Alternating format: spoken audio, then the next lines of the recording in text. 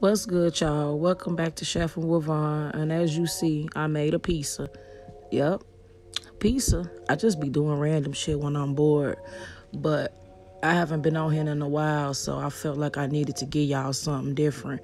We got our Italian sausage. I use a, a teaspoon to make my sausages nice and round and small the way I want it.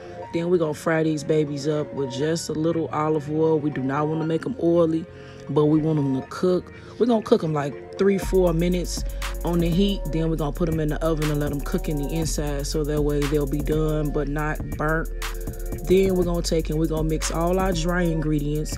We're gonna mix three and a half cups of bread flour, teaspoon of sugar, instant dry yeast, kosher salt, our water, and our olive oil. Then we're gonna knead our flour together until we get it into a nice ball. And we're gonna let it rest for an hour. After it rests, that's how it got nice and fluffy. Then we're gonna cut that shawty down the middle and we're gonna knead it again.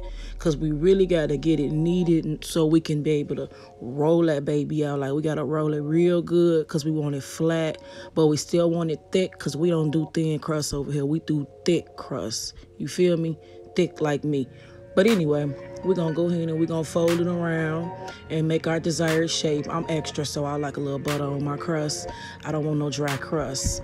Next, I'm adding in my sauce. Don't be scared. Add the sauce. You don't want your pizza dry. You don't want it scared looking. Then on top of that, get some cheese on there. You want that cheese to be nice and filling. We are meat lovers over here. We got us some sausages and pepperonis, and we're gonna load this baby up. Just load it up with your desire, of course. Like if you want to use something else, do your thing. But like I said, I'm extra. I added more cheese. But she's ready. She ready to go in the oven. I was too thirsty. Like, uh, I had to go see. Like, oh my God, what's she looking like? Do we got a pool effect? I need a cheese pool effect. If it's a pool effect, I can live. If it's not, I'm dying. Oh my God, I'm living. Oh my God, she's hot.